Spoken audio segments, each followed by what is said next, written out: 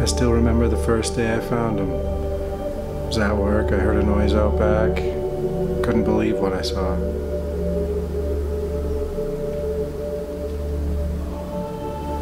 I went to see them again and again, even giving them names Jay and Little Boy Blue.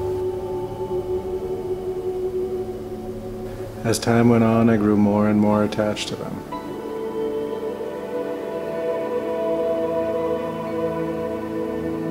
In this last clip, you can see Jay getting ready to fly away. And then one day I went back, and the horror. I'm sorry, I can't do this anymore. Shut that camera off.